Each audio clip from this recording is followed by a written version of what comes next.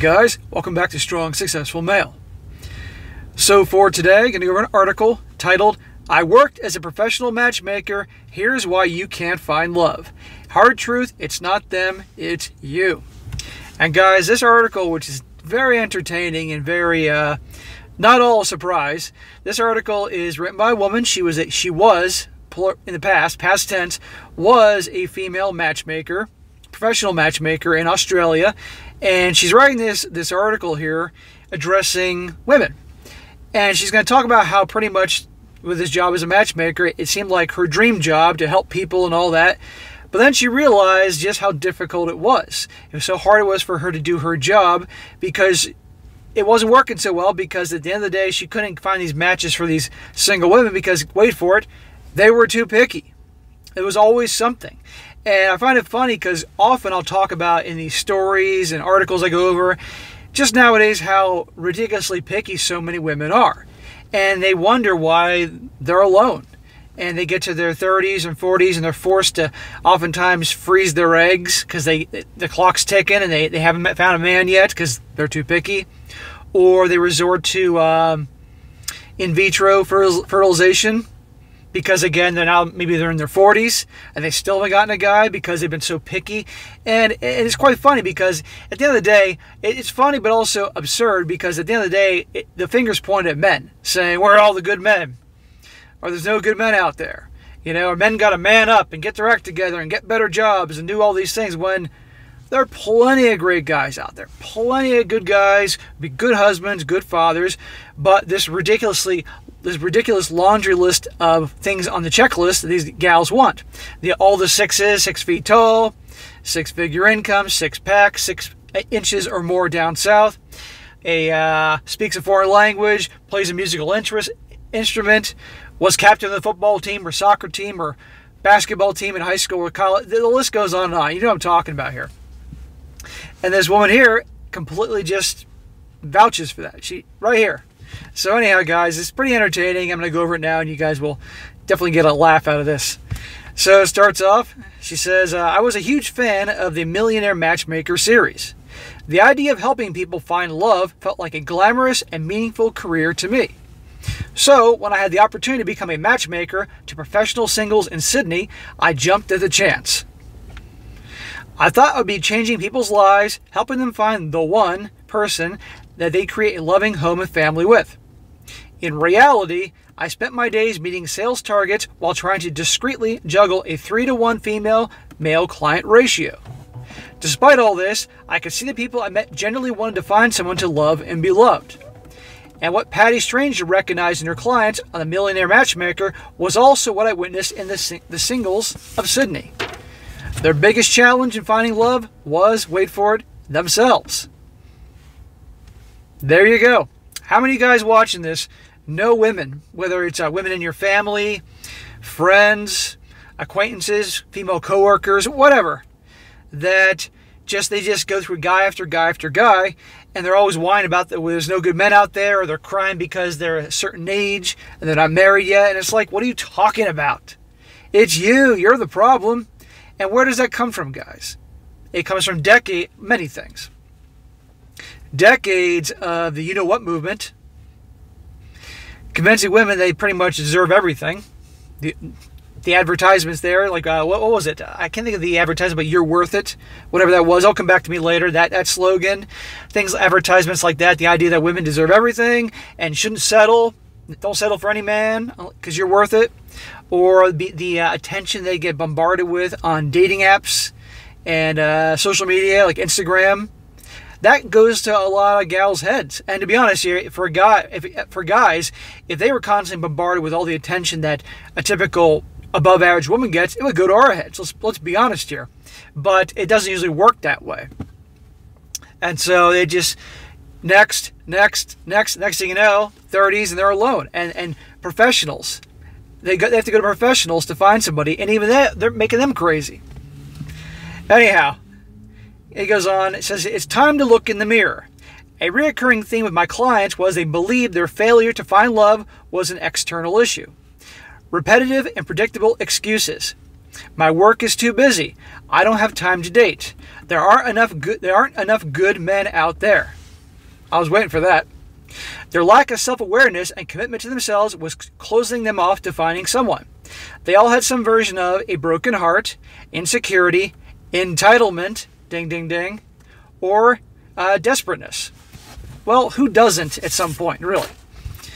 Without addressing the above, matches were viewed through a tainted vision of rejection, fear, or the preconceived perceptions, no matter how compatible that they were. The never ending list of non negotiables. Expectations were high. It's amazing all the non negotiables. And you know what, guys? I'll be fair here. It's okay to have certain uh, deal breakers, in my opinion. Like, let's just say uh, you hate smoking. So, no way in hell do you want to date somebody or get involved with somebody that's a smoker. Okay, that's fair. Or let's just say uh, you're very religious. Okay, you know, you're a churchgoer, and it's very important for you to meet somebody that is, uh, you know, equal in the in religious faith and all that. And so you want someone that's along that those lines. Okay, I get that too. Or let's just say you're a fitness nut and you want to be with somebody else who's also a fitness nut, that likes to go to the gym, gym rat, takes care of their body, eats healthy. I get that. But things like, well, he has a he, he has all these great qualities, but he has a slightly receding hairline. Next, he makes ninety-eight thousand nine hundred dollars a year, but not a hundred thousand. Next, he has a four-pack, fit body, but not a six-pack. Next, that's what I'm talking about, guys. Those those supposed non-negotiables. Like, get the hell out of here. Anyhow, said expectations were high. Our membership fees range from uh, in the Australian dollars two thousand dollars to ten thousand dollars. Yet they could afford it. Man, that's a lot of change. That's a lot of dough to find a dude. In truth, their expectations, their high expectations were due to non-negotiables list, which kept growing year by year. Ah, imagine that. Their ideal partner criteria was a long list of, now listen to this, financially secure. And I actually don't mind that. But then there's what is the definition of financially secure? Financially secure, successful, ambitious, mature, easygoing, health conscious, active, good looking, strong family values, once marriage, once children, confident, well traveled, well groomed, emotionally strong, good friendships, etc., etc. Now, some of those I can understand, but other ones it's like, you got to be shitting me. You're not going to type into a computer and print out and have a dude come out with a, uh, with a 3D printer, some guy like uh, they did in Weird Science, that movie from the 80s with, with the chick, Kelly LeBrock. You're not going to do that. You're not going to find somebody that has all these things. And she didn't, and she, there were still more, but she just stopped there. Says with extensive criteria to evaluate their matches, clients would lose the opportunity to feel and see any real connection on their dates. They would mentally rule out the person within the first few minutes, rejecting the opportunity based on insignificant detail, and then call me later to provide the following feedback. Listen to this. His hairline is receding. I didn't like his shoes.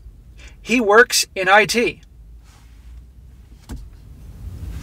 IT? And my favorite, I didn't like how he pronounced his HS. I'm not sure what that means. I'll probably figure it out later. Hair, clothes, and job titles are irrelevant, irrelevant when it comes to love. And no one is ever going to align with an ex- exhaustive list of non negotiables. Exactly.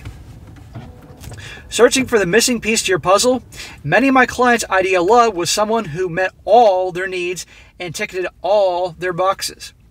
Let me tell you guys, I know some women that are in their 40s and 30s, but particularly one in their 40s, that, let me tell you, for their age, are darn good looking. I will absolutely give credit where credit's due. They take care of themselves, all that. And when they were younger, really hot. But the problem was is that they knew it, and had, they had these high expectations. They thought they, they they pretty much deserved every, they deserved a dude with a yacht and a Ferrari. And guess what happened? Now they're older. They are lower on the totem pole. And the dudes that they wanted, they don't want them. They had plenty of opportunities before, and yet they cry and cry and cry and are upset because they don't have a family, and some can't have kids, and things like that. This is what you get. You're not going to find a guy that's going to have everything on the giant checklist. You know, just like a guy is not going to find a woman that has everything on the checklist either. Let, us be fair here, because I know I got a lot of guys here that watch me that do relationships. Guys, you're not going to find a chick that's going to have everything on the freaking checklist if you do relationships. I hate to break it to you. But I get the deal breakers, but come on here. Anyhow, she says they weren't acknowledging that a relationship is two unique and independent people entering in a journey together. That they find themselves needing to show up and be reciprocal in nurturing the partnership. Love should enhance the, the lives of both partners in the relationship. And it's a tall order to ask just one person to meet all of our needs. All right. She says instead of looking for a person who checks off all the boxes, focus on a person with whom you can imagine yourself writing a story with that entails edits and revisions. Yeah. If there's minor little things that, that, that they have that maybe aren't perfect, and by the way, guess what? To the women that are so picky, I got news for you. You're not perfect either. You, you have flaws. We all got flaws.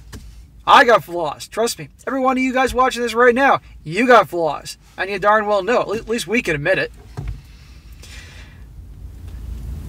Apparently, uh, let's see here, a quote here from Esther Perel, a psychotherapist and expert on relations and sexuality, says as human beings, relationships are fundamentally are fundamental to who we are.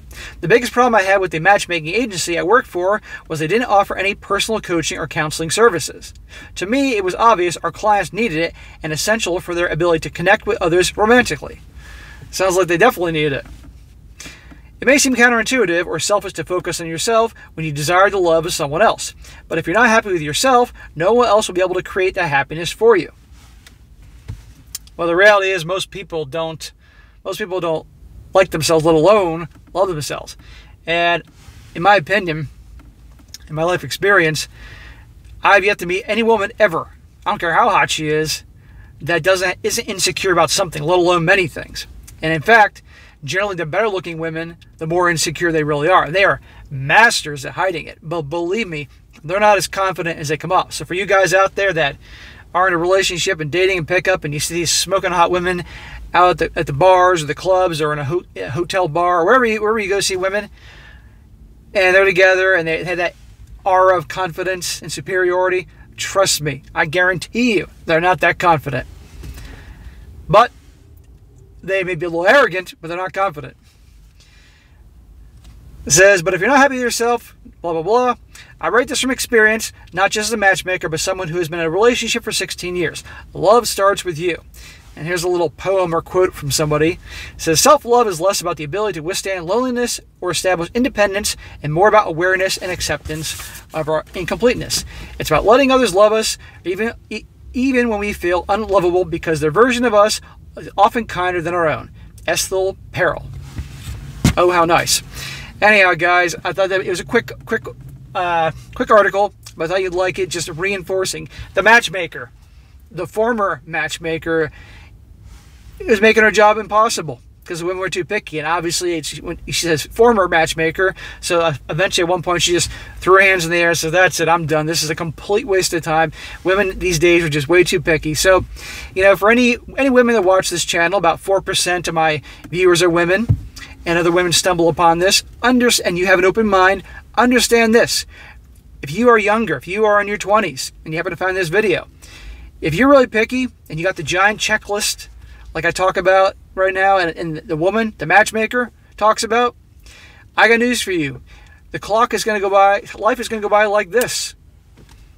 And next thing you know, in your 30s and your 40s and you're alone, you're crying about it because you don't have a family, you can't have kids anymore and all that. So, time to look at things differently. Or if you're women watching this and you're actually kind of cool and you got friends, female friends, female family members that are like this, what she describes, spread the word. Because believe me, the older they get, it is what it is the more they go down the totem pole.